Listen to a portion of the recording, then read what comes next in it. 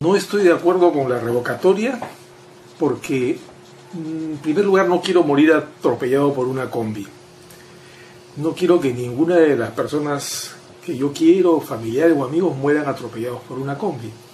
No quiero que ningún ciudadano vuelva a morir atropellado por una combi que se pasa una luz roja o que se trepa a un paradero porque se le vaciaron los frenos. Y menos que sea una combi de las combis del señor Luna, que es el que está financiando todo este proceso de revocatoria. Tal vez el punto número uno se ha convertido por las circunstancias en la reforma del transporte. La revocatoria pretende, no, no, no pretende hacerse porque Susana Villarán no esté haciendo nada la quieren hacer para que no pueda terminar las cosas que ha comenzado, ¿no? Y eso sería un gran daño para Lima, para todos nosotros. Yo cometí un grave error, un error del que me arrepiento, me arrepentí hace mucho tiempo, pero recién hoy día por primera vez puedo expresarlo públicamente. Y es permitir que empresas que tenían proyectos privados con la ciudad financiaran la campaña.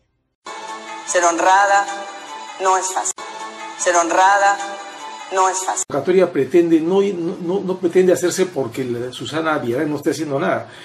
La quieren hacer para que no pueda terminar las cosas que ha comenzado, ¿no?